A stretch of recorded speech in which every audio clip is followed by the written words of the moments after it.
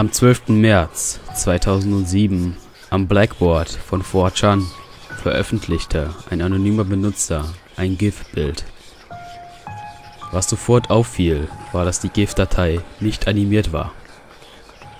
Sie trug den Titel I'm-happy.gif und schien eine Zeichnung von einem Smiley, nur mit realistisch aussehenden Augen und Mund zu sein.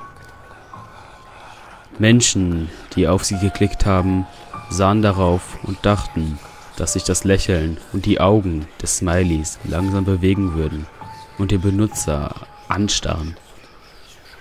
Der Smiley würde dann laut schreien. Laut genug, um das Trommelfell platzen zu lassen. Und grauenhafte Bilder von Vergewaltigungen, Bombentestopfern, abgetriebenen Föten, verstümmelten Leichen und gefolterten Tieren erschienen auf dem Monitor. Nach etwa fünf Minuten wurde der Text Habe noch einen schönen Tag eingeblendet. Dann schließt sich der Browser plötzlich und etwas später stürzt der Computer wegen einem schwerwiegenden Problem ab. Es war ein Virus. Menschen, deren Computer infiziert war, wurden in ihren Häusern gefunden, gehäutet und verstümmelt.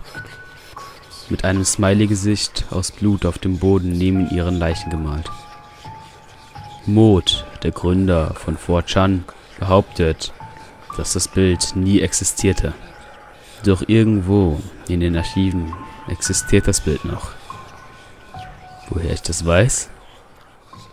Ich habe es kreiert.